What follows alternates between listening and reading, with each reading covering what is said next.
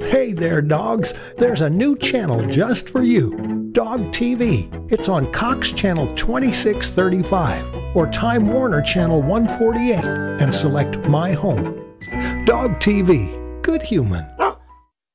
Live from San Diego's news source, this is a 10 News Update. Welcome back to 10 News. I'm Kimberly Hunt. And I'm Steve Atkinson. We have some breaking traffic news in the North County where a big rig has flipped over, causing lots of problems for your commute. Let's get the details from our time saver traffic reporter live at the 10 News Experience. Behind me, you can see the firefighters spraying water on the flipped over gas truck. The view from Sky 10 shows the back of it on fire. If we go to the map, you can see that the smoke has closed the 15 freeway. It's a mess. Back to you in the studio.